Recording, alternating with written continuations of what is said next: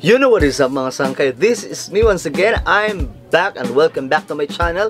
And if you don't know my name, just call me Sangkay Janjan o sa Tagalog, Kaibigang Janjan. At kung bago ka pa lang sa ating channel, eh welcome po sa mundo ng mga sangkay. Kung hindi ka pa po nakapag-subscribe, eh, ano pang hinihintay mo? Please subscribe my YouTube channel and click the bell notification para lagi po kayong ma-update sa bawat video na ina-upload natin. So, kamusta po kayong lahat? Naway okay lamang po ang inyong kalagayan at safety po kayo. So, ito na naman tayo mga sangkay. Magkuikwentuhan na naman po tayo ngayon sa mga bagay na kung saan nangyayari ngayon sa kapaligiran at sa buong mundo. At kaya po ako nakangiti ngayon mga sangkay dahil nga po mamaya ituloy muna natin to mga sangkay. Sa walang pagtatagal, umpisa na po natin ito.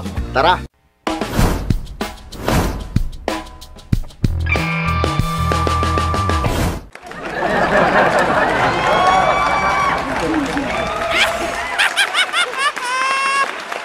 Woo! Malupit ka talaga, Kim Jong-un. Ikaw talaga yung greatest prankster, no? Dahil mga sangay, si Kim Jong-un po ay buhay na buhay pa pala.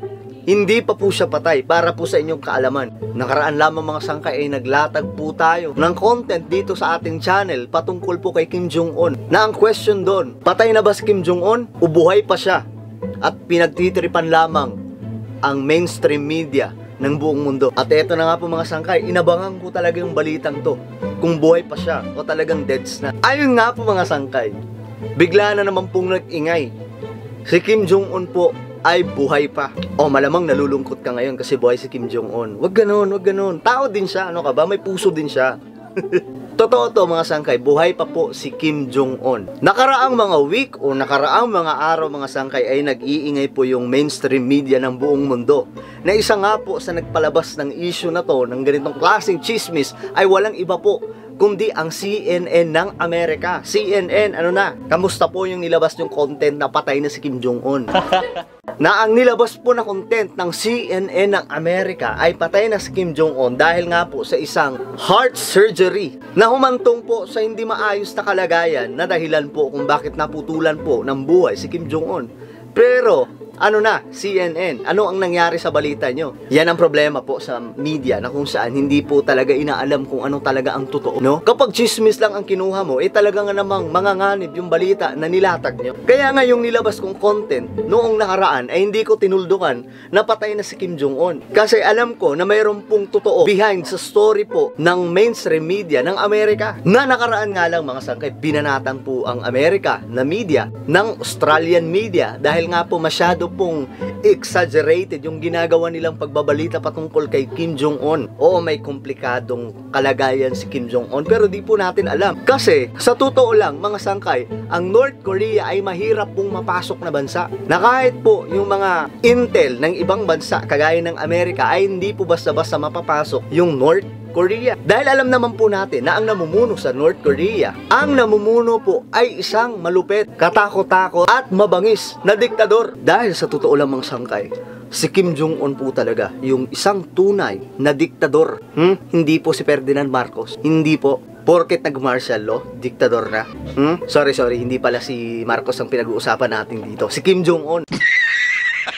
Saan nga ba lumabas ang balita na si Kim Jong-un ay buhay pa? Ito po ay kinumpirma ng media ng North Korea at naglabas nga po ng mga larawan na kung saan si Kim Jong-un ay nagpakita doon po sa cutting ceremony ng fertilizer factory. Yun yung kanyang first appearance after ng 20 days na pagiging silent at hindi pagpapakita sa publiko. Nung napabalita po na patay na si Kim Jong-un, medyo nagkagulo po yung ilang media sa buong mundo, hindi po yung mga leader ha. Dahil ang katanungan nila, sino yung mamumuno sa North Korea? Ano na ang mangyayari sa mga nuclear ng North Korea? Ano na ang mangyayari sa mga sundalo ng North Korea? So yun po yung mga questions na possible daw magkaroon po ng malaking gulo sa North Korea kung si Kim Jong-un ay mawawala. May point naman po talaga dahil sa totoo lang mga sangkay, si Kim Jong-un po wala pa po talagang formal na successor. Hindi tulad po sa kanyang ama na si Kim Jong-il at sa kanyang lolo na kung saan meron na po silang successor na inaalagaan. Pagdating dito kay Kim Jong-un, mayroon po siyang mga anak pero hindi pa po sapat ang edad para pamunuan po ang ganong klaseng kalupit na bansa. Si Kim Jong-un po ay 36 years old pa lamang po. Kaya medyo nag-aalala po ang paligid. At isa Isa nga po sa sinasabi nila na possible maging successor ni Kim Jong-un ay ang kanyang kapatid na babae. Pero ang katanungan doon mga sangkay, ang babaeng kapatid nga ba ni Kim Jong-un ay papaniwalaan at susundin ng kanyang mga opisyal doon sa North Korea? So ngayon tatapusin natin ang issue na to na gusto kong sabihin sa CNN ng Amerika. So CNN ng Amerika ano na? Mukhang fake news po yung nilabas yung balita. Kagaya din po yan sa ating bansa. Marami pong fake news sa mainstream media. My goodness.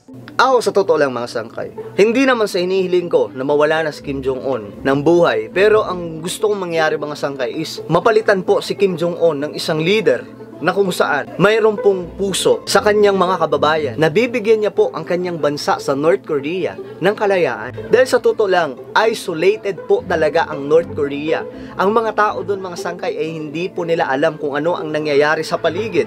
Mayroon po silang mga batas doon na sobrang weird. Kagaya na lamang po ng bawal po magsuot doon ng maong. So dito mo lang yan sa labas makikita yung may mga maong na suot.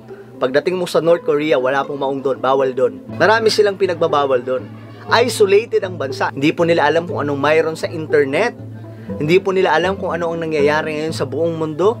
Basta ang alam lang po nila, andun sila sa North Korea at sumusunod lamang po sila sa kanilang Panginoon na si Kim Jong-un. Alam nyo mga sangkay, ang Pilipinas magiging kagaya din dapat sa North Korea. Kung natuloy ang plano ng mga komunista na pabagsakin ang Republika ng Pilipinas noong panahon ni Pangulong Marcos. Na kung nagtagumpay ang mga komunista noon na pinamumunuan ni Ninoy Aquino at Joe Masison, I'm sorry to tell you mga sangkay, pero komunistang bansa po sana tayo ngayon at malamang sa malamang ang tumatayong diktador ay si Ninoy Aquino. At alam nyo naman kung sino yung anak ni Ninoy Aquino, so malamang yun ang successor niya ngayon. Buti na lang nagdeklara po ng martial law. Ang martial law po ang nagprotekta sa ating bansa na dahilan kung bakit malayang bansa po tayo. O ngayon may alam ka na no, ang akala mo kasi ang martial law masamay.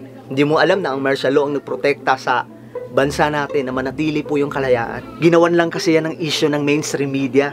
Pinalabas nila na kunwari masama ang martial law. Pero sa totoo lang, ang martial law ang nagligtas sa atin mula sa panganib ng mga komunista. So ayun mga sangkay, buhay si Kim Jong-un. Siya po talaga yung greatest prankster. Biruin mo naman mga sangkay, na-prank niya yung buong mundo, no? Na-prank niya po yung Amerika at kung saan-saan pa pong panig ng mundo. At dumagungdong ang balitang ito na patay na si Kim Jong-un. Malupit ka talaga Kim Jong-un. Lakas mo mang trip. Piruin mo mga sangkay, nagkaroon talaga ng fiesta sa social media. Ang maraming balitaan maging sa mga telebisyon. Dahil nga po si Kim Jong-un daw ay patay na. Pero ngayon buhay si Kim Jong-un, ano na? Na-prank kayo. ako kasi hindi po ako naniwala kaagad dito.